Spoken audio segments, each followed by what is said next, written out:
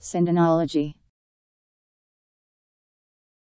The study of the Shroud of Turin. S I N D O N O L O G Y. Sindonology